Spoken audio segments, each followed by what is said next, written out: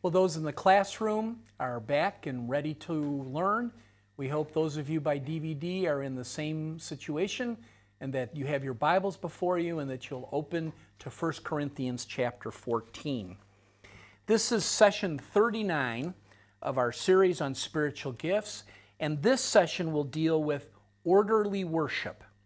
In our last session, we focused on prophecy and tongues in 1 Corinthians 14 1 through 25, where Paul makes three main points. First, prophecy is more valuable to the church than tongues. Second, understanding what is being said is the most important thing. And third, prophecy is for believers, tongues is meant for unbelievers. In this session, Paul begins a new thought where he talks to the Corinthian church about the proper way to conduct their worship services. Their services were chaotic, their services were confusing, and Paul was attempting to bring order out of chaos and ensuring that God would be honored during these worship services. Have you ever gone to the circus? Some of you probably have. Some of you probably haven't had a chance to go. If not, I encourage you to go. It's an experience. You walk into this big tent. There are some seats on bleachers where you sit down, and then you spend an hour, two, three hours being entertained. However, there's three rings of activities going on over here. You'll have the lion tamers, and you'll have those who go in the cage with the bears, and they tame the wild animals. And in the middle, you have the people on the flying trapeze who are swinging back and forth, doing daredevil stunts that could cause them life and limb. And then over here, you have the clowns and the jugglers. The jugglers juggling, doing amazing things, the clowns making the children laugh. And you sit there and you go, What should I look at? There's too much going on. I mean, I, that, whoa, that's interesting. Whoa, look at that. That's what Paul was saying it was like in the Corinthians church. There was too much going on. It was like a three ring circus. People were coming into the big tent, the church.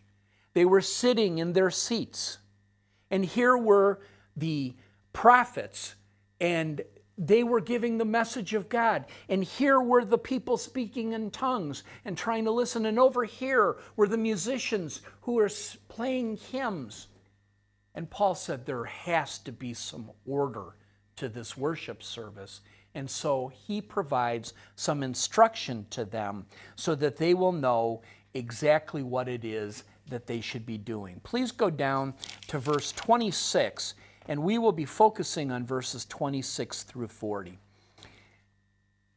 Following his previous thought that tongues are not for believers, that prophecy is, and that people who hear us speaking in tongues in church who aren't believers or visitors, they'll think we're crazy.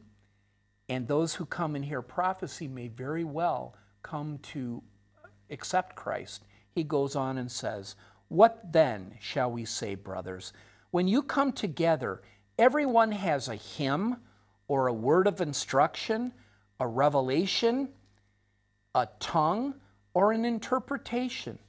All of these must be done for the strengthening of the church. Now, the first thing to understand is that Paul is not prescribing a certain format for our worship services.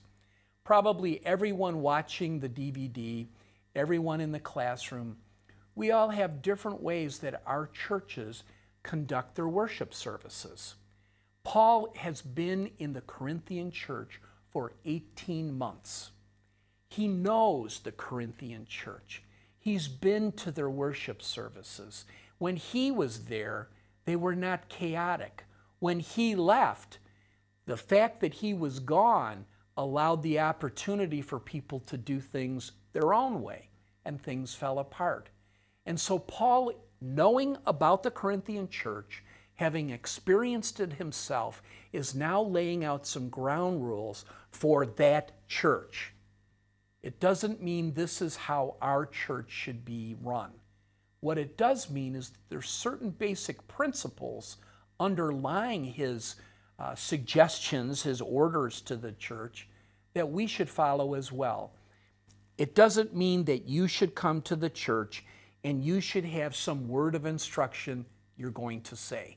It Doesn't mean that you should allow a prophet to stand up and give a revelation, or someone should speak in tongues and someone should interpret.